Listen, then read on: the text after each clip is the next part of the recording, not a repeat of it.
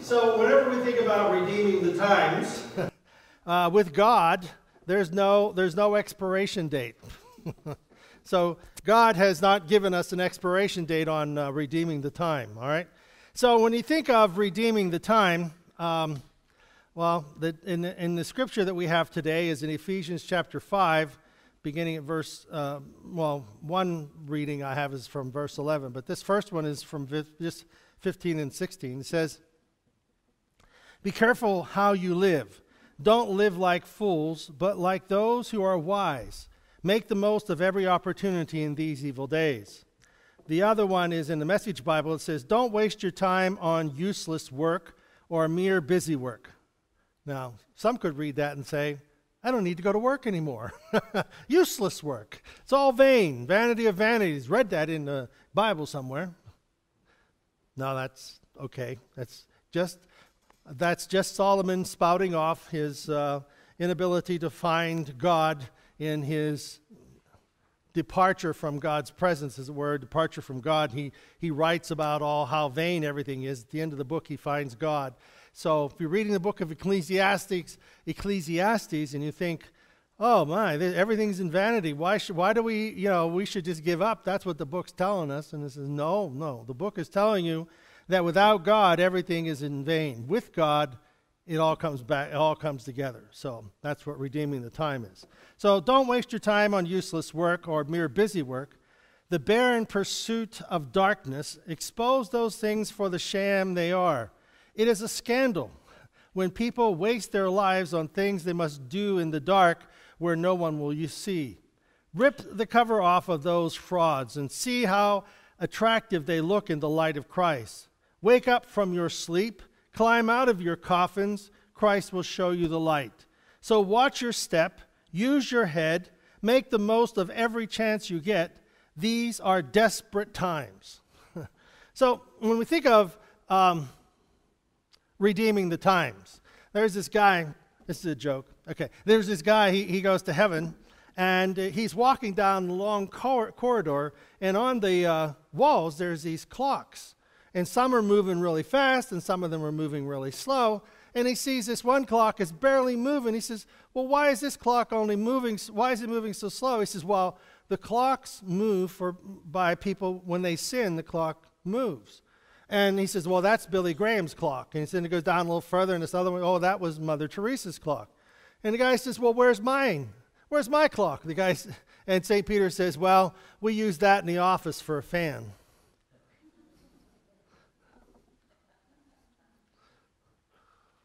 Mm-hmm. Okay, so don't uh, uh, make the most of every chance you get. The, these are desperate times. So when we think of desperate, there again, desperate times, we think of times in which things are, you know, on the edge. They could fall either way. Uh, they could go either way. Some all it takes is one event, one thing to make it fall over. Well, in our lives, we need to take advantage of our time. Um, one day has 86,400 seconds. I looked this up. Uh, one week has 604,800 seconds, and one year has 31,556,952 seconds. Redeeming the time. Well, redeeming the time, um, redeem means to make something bad, unpleasant, better, or more acceptable. Redeeming is making something more acceptable. To exchange something, such as a coupon, for money or an award, or to redeem is to buy back. So we look at, um, or exchange. So when we look at redeeming, how can we redeem the time? We, we can't buy back time. we, can't, we can't stop the forward progress of time. Some would call maybe a digress, digress, but the, the idea is time continues on. So, what do we do with the time that is past? Well, what we do with the time that is past, let it go. that that's not for our, that's not our concern. And God isn't worried about what's past. He's he's concerned about what's in front of us. So God wants us to redeem the time we start where we're at. Um, beginning like be, let the weak say that they are strong And we are, we are being thankful for what God has given to us, so we say that God is our healer, God is our provider. We thank God for his divine provisions. Well, if you think about, uh, I was going through trying to find some statistics and things. The average minute per day spent reading, my wife would like this, and Glenda would like this. The average day spent reading from 12 um, from the age of, it didn't start out any younger than 12. So from 12 to 24, it's 10 minutes. uh, 25 to 34, 12 minutes. 35 to 44, 20 minutes. 45 to 54, 22 minutes. 55 to 64, 30. And 65 plus, 60 minutes. Now, what's the average time spent watching TV? Remember, this is about redeeming the time. K2 to 11 is 25 hours. 12 to 17 is 23 hours. 18 to 24 is 26 hours a week watching TV. 25 to 34 is 32 hours. 35 to 49 age is 35 hours. 50 to 64 is 42 hours. And 65 plus is 47 hours a week watching TV. And the average Christian prays three to seven minutes a day, including meals and time prayer. Redeeming the time. You see, it's important that we look at what we use our time for. Uh, many of our activities are simply, you know, I, I look at uh, uh, going into nursing care facilities, the TVs are always on. Uh, they're kind of like a distraction and trying to, you know, just get something noise in a room for people to hear or watch.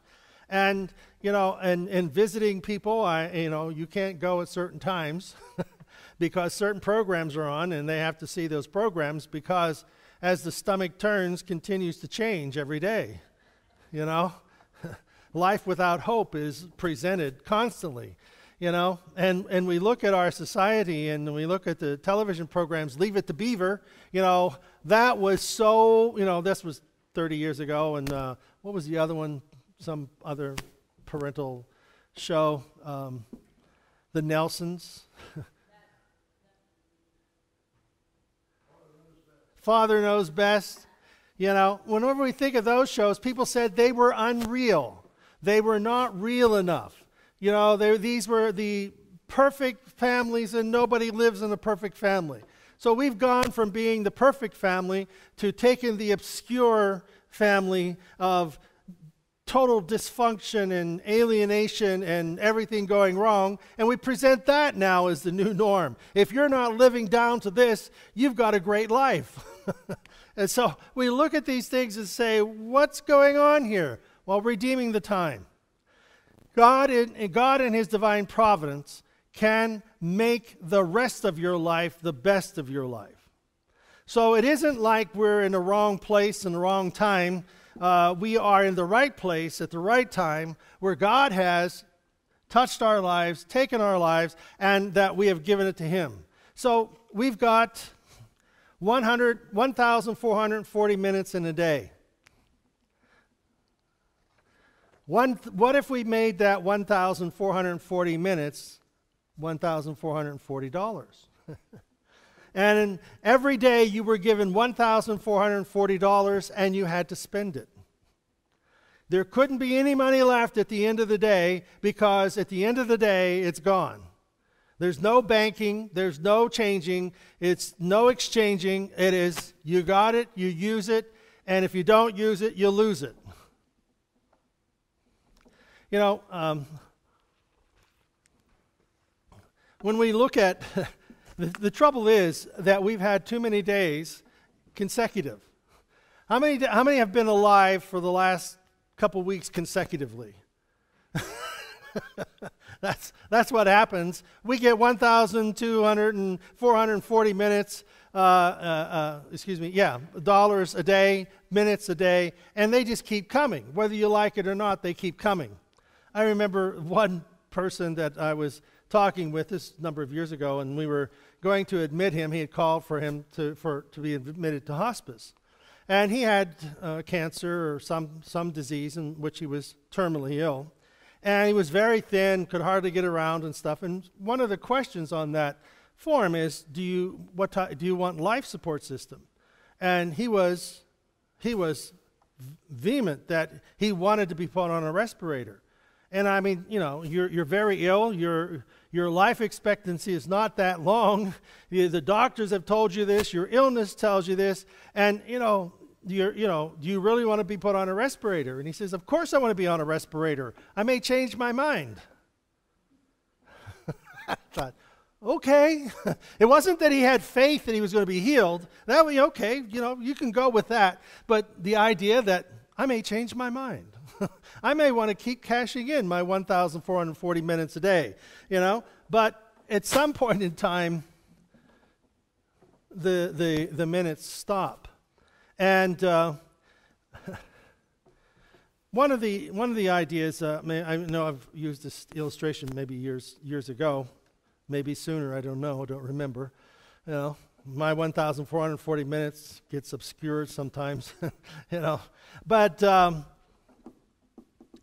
this, we, we look at our life, and so here we are. We, we, you know, we, all the things that we've accomplished in our life, okay? We put, the, put them on this big wagon, couple wagons, you know, wagon train or whatever, and we're, we're pulling them into heaven. You know, these are the things I've done with my life, okay? These are the important things. These are the things I'm taking with me to heaven. So we pull into the gate, and uh, if you've ever been, uh, well, the nearest thing I can think of is that we, when you ride the ride at Hershey, going through Chocolate World, they, you go through this oven that they have, and all these red things come on, and you go through this 20 foot long oven in which simulates the heating of the uh, chocolate and, you know, whatever. It's not baking the chocolate. I don't know what it's doing. Setting the chocolate? I don't know. But anyhow, when you're going to heaven, here we got all this, uh, all this stuff we're taking with us into heaven, and we enter into this tunnel that goes into heaven, and all of a sudden, whoosh, this big fire comes out, and it consumes everything that's not done for Christ. you know, everything that's not been done for Christ perishes. So, whenever we get to heaven, we are looking at only what we've done that has been for God is going to make, make it there. So, in our life here, redeeming the times is recognizing the value of what God has given to us. You see, we all have gifts, we all have talents. We can waste them or we can use them. we can take what we've got and, and put it to good use. Um, we say, well, you know, maybe uh, I'm too old, I'm too young, I'm too, too this, too that. I don't have the right place. I wasn't, did this. You know, no, just throw those things out the window and recognize that you have talents, you have gifts, and God wants to use you in your giftings. You know, if God wanted another Billy Graham, I'm sure it would have been me, but he didn't want to. he wanted only one, and he made a, you know, that was him. It was, there was a story of Billy Graham. He was over in uh, Belfast, Ireland, and I think it was in Belfast. It was in Ireland, and um, he was, you know, the, that was back in the time in which the the streets and so on were not safe to be on, and they were fighting and killing and shooting each other. And Billy Graham kind of dresses up in a disguise with hat and sunglasses, whatever, and he goes to talk with some of the people that are fighting. And he's going through this whole thing about giving his life to Christ and, and, and all this. And finally, the guy says, he says, there's the guy sitting there says, uh, if, you know, I can't, I can't listen to what you have to say because there's only one person. If, if Billy Graham himself would come here and stand here with me, he's the only person I'd ever allow my life to influence my life enough to give it to Jesus. He takes off his hat and his sunglasses and says, Hello, I'm Billy Graham. and, and we look at that, and, and sometimes we look at our life and we say, well, if this would happen or if that would happen, and you know, and, and you know, it's kind of like our little defense. And and what happens is God shows up and says, "Here I am. Here this is.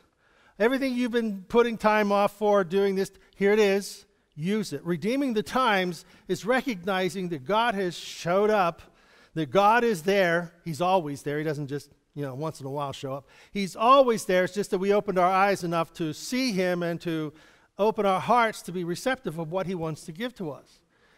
That we grow in grace. and in the knowledge of our Lord and Savior Jesus Christ. That was in our Sunday school lesson. Grow in grace is that we grow in the giftings that God is bestowing upon our lives. The grace of God is, is that God is giving to us from His nature, from who He is, and from His Word. He's giving that into our lives, and we're growing in His grace, growing in our ability to receive what God has, what God is giving, and then grow in knowledge. So there's a knowledge of what God is wanting to bestow upon us in our life. In everything, give thanks. in everything, give thanks, for this is the will of God in Christ Jesus concerning you. That in all, and God is at work in all things God works all things together for good to those who love him and are called according to his purpose. God is at work in all things. And so we are being thankful for the things, but we're being thankful for the God who will work in the things to take us to where we need to be, redeeming the time.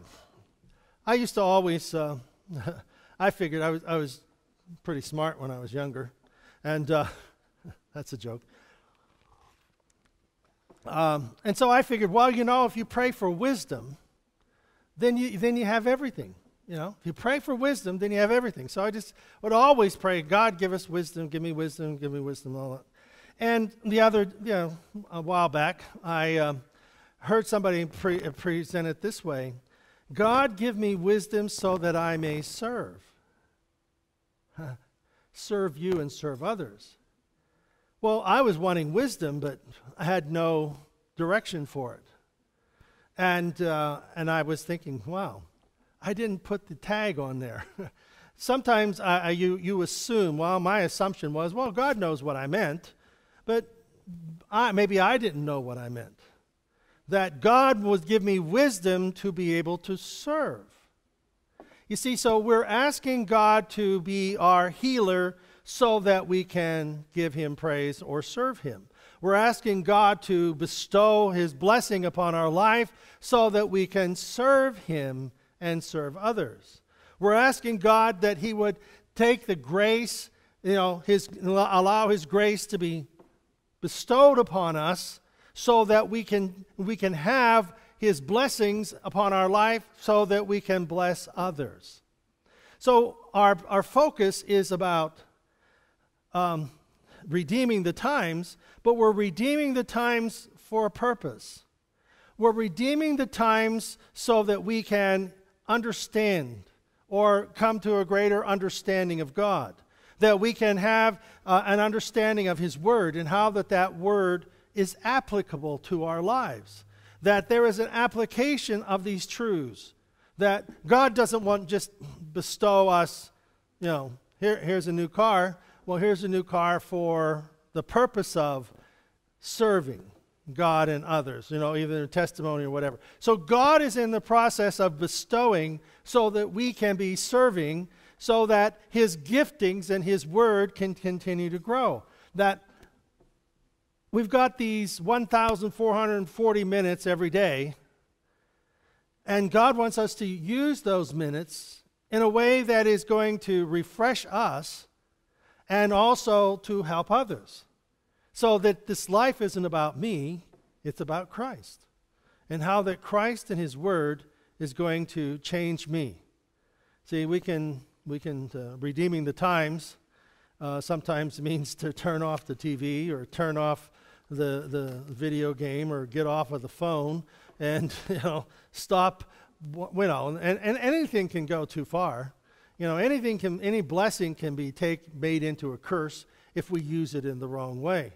So there is a time that uh, God is working in our lives, and that time is every day. So time is the most valuable commodity that we have in life.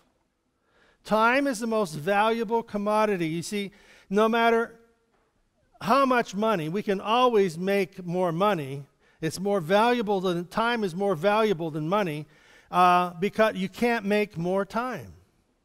You can't add up, you can't borrow time. There was a, a movie, I never really watched it, but it's that somehow that people were on a time and if they had the hours and so on, they could live. If they ran out of hours, they were dead. So anyhow, you would work for time. I guess they were taking a hint from the scripture. So when you woke up this morning, God gave you a present, and it's called today. And with that gift comes a responsibility. So the scriptures tell us to redeem the time, to make the most of every opportunity. We have not lost our time. Because if our time was up, we wouldn't be here. yeah. So your time is not up. Your giftings and your service to God and to others is not up. And you haven't outlived your usefulness. It's God has begun a new work, a work in us, and He is going to complete it. So God is in the process of completing what He had in mind for us. Now, no matter where we are at in our time frame, we don't know how much time we have left, but we do know we have time. We have time to redeem it. We have time to allow ourselves to serve God in the time that we have left. So make the most of every day. God has entrusted us with His life and His will and His word. We don't have to know everything there is in the Bible. You know, we, we just need to know the one who wrote it, inspired it, and that is Jesus. And you have the seeds of greatness that are there inside of you. The, the dreams are still there. So awaken the dreams, awaken the knowledge, stir up the giftings that are inside of you. So we redeem the time to help others. We redeem the time to help others. And uh, this is uh, Saul. He tried to join the disciples, but they were all afraid of him. But Barnabas took him and brought him to the apostles. He told them how Saul, on his journey, had seen the Lord and that the Lord had spoken to him. You see, Saul could have been lost to the uh, church if Barnabas had not been there to give him position or to recognize what God had done in his life um, Bar, you know, Saul had you know done his best to destroy the church, and people had all this fear and anxiety of, of Saul. And Barnabas is the one who said, "No, we've got to listen to him. God has had has done a great work in his life." And Saul overshadows Barnabas in the scripture, but without Barnabas, Saul may have never even got a chance. So you see, our giftings aren't about making ourselves big in our own eyes. It's about helping others achieve their dreams, help, helping others achieve their place in the, in the body of Christ. That we find that God is willing to allow us to help them become a better person. And how do we do that? We're redeeming the time. How are we doing that? We're by smiling, encouraging. We can do this. You can make this we find a way to make others win, to help them become uh, more complete in their, in their life. Redeeming the time is giving more and having more. One person gives freely, yet gains even more. Another withholds unduly and become and come, but comes to poverty. The Message Bible has it. The world of the generous gets larger and larger. The world of the stingy gets smaller and smaller. The one who blesses others is abundantly blessed. Those who help others are helped. So we find that redeeming the time is just giving of what we have, the time that we have, to help people get where they're going, to help people become better in what they do. In Thanksgiving, you know, what are, um, we can't go back and, and, and uh, help the pilgrims we can't go back and help the, the family, our own family from years ago. Uh, we've been cleaning out our house and uh, uh, taking the books, and got, Rhonda's been going through the, the desk and so on. Me, I look, I throw. Rhonda looks, she reads, she studies, and she remembers, and she cries. And it's only one picture, you know, and there's hundreds of them there, you know. Uh, and uh, she remembers, and she does remember. She got a picture, and it matches the picture in her head, and boom, she can start on about 10 pages with that one picture. And, uh, but redeeming the times that sometimes we don't see how valuable we are, uh, and, and sometimes we need to look at the, that picture. The picture of when you touch someone's life. You know, to, to me, um, uh, most of the time, uh, whenever I meet people, they know me and they'll, they'll say something, not the people that I've helped out over the years, that they'll say and they'll talk and how wonderful it was and how great I was, how comforting it was to have. And that was God being there. But God has given me the ability to forget. Uh, I'll blame Him. And, uh, and I forget their name and I forget the situation. And, but they remember that picture. And they remember the picture in which I was there with them in a very difficult time. And that what I said or what I did was God working through me to touch their lives and to help them. And so, to their picture, I'm, I'm in it. you know, when Rachel worked at uh, Storybook Forest, she was Little Miss Muffet. Yeah. That was a perfect one. she worked at Mary Mary Quite Contrary at Storybook Forest. You know, that was Rachel. That script was written for her. They even made a costume for her. But, yeah, but what she said was, I am in more kids' pictures than you can ever imagine. yeah, yeah, yeah. And have Mary, Mary, quite contrary. And, you know, there's Rachel smiling, holding these, these kids, you know, and, you know, it's, but you see, we are, we, all of us, in our giving, sometimes we don't recognize the, the giftings that God has given us to help other people. And um, if we thought it was spectacular, then we probably wouldn't be doing it. uh, so God is the one who takes what we have, and as we redeeming the times, as we are giving of our time or giving of more of what we have, what we're doing is sharing with people in need. And maybe that's all they need is your handshake, your blessing, your prayer, your whatever it is. When you're doing it, we're doing it for Christ. So, redeeming the time is that we do this, and it isn't that um, we're so wise, God give me wisdom, but God give me wisdom to help other people.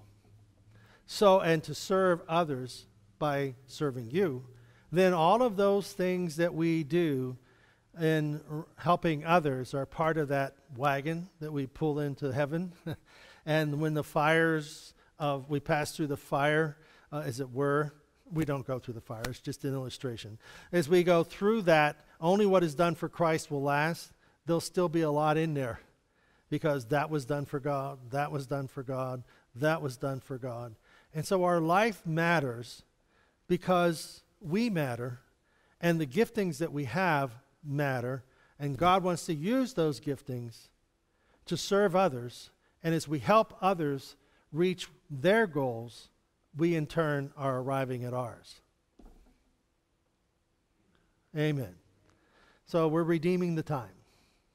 Redeeming the time, we're being thankful for what we've got. We're being thankful for how that God has blessed us. And, you know, also be thankful in remembering. You know, um, remembering the dream. When Joseph, and I'll close with this, when Joseph was sold and you know his brothers, he told his brothers about his dream, and they get all bent out of shape and they throw him in a pit, and they were going to leave him there, but they sold him to a caravan going to Egypt. And you know, all these years that he, you know, he ends up being in, in Egypt and you know, betrayed again and in prison, and then finally he interprets a dream and ends up being second command of all of Egypt. It was when his brothers, the situations changed in which there was a famine, and his brothers came to Egypt and they needed food. And who they had to come to and who they bowed down to? Joseph. And as his, as his brothers are bowing down before him, Joseph remembered his dream. So his dream was not one, you know, it, it was there that inspired him, but it, that while he was a slave in Potiphar's house, he was, people, people were not bowing down to him. Whenever he was in prison, people were not bowing down to him, but he still had a dream. And in that reality of everyday life, there wasn't, there was, there was, it was impossible for it to come, come to fruition. It was impossible for that dream to happen. But God had things in place. And when he arrived at the place and Pharaoh had the dream and he interpreted the dream, he ends up second in command of Egypt, and his brothers come and bow before him. That was what got him thrown in the pit in the first place. And God had brought him full circle to where his brothers were bowing down before him and they didn't even know it. And God has a way of bringing us to the place where the things that he has put in our hearts, the dreams that he has put in our hearts, he is going to bring them full circle and bring them to, re- to reality in our lives. So do not give up on your dream. Redeem the times. Joseph made the best of his time in Potiphar's house, betrayed. He made the best of his time in prison. He was leader in the prison, forgotten. But at the right time, he, was, he had redeemed the times. He ends up being second in command of Egypt. So be thankful. God is at work in all things the prison, Potiphar's house. God is at work in all these things. Let us see the hand of God, receive the grace of God, the giftings that He has upon our lives, and redeem the time. Jose, I had a song. I was, did, did, I was, I didn't sing this. I was wanted Jose to play it, but we'll just get a snippet. Do you have it? The whole video. No, this is you don't want to see the whole video. It's just go. You play just a snippet of it, if you would. Does anybody know, really know what time it is? Does anybody really care? And the answer is yes. I was going to play that at the beginning. That's not a good altar call song. I'm sorry. but uh, that's it. Does anybody really know what time it is? And God does. And does anybody really care? Yes. It is Jesus. And we are at the right place, at the right time, in the right place and right position in our lives to receive the grace and the mercy of God, to build upon what God has already brought to fruition, and go from here knowing that we have purpose in fulfilling the will of God and the dreams of our lives. That's what time it is. Amen. Let's stand, shall we?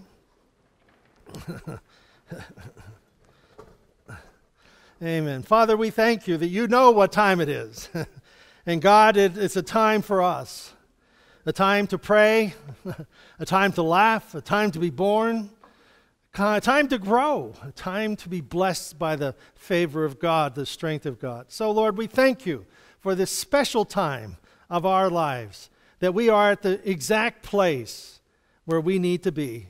And God, you will work in our lives to bring about your purpose.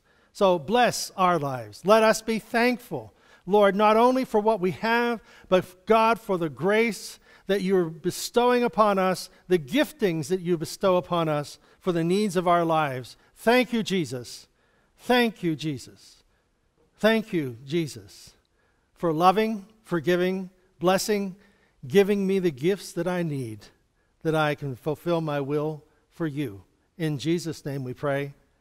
And everybody says, does anybody know what time it is? Amen.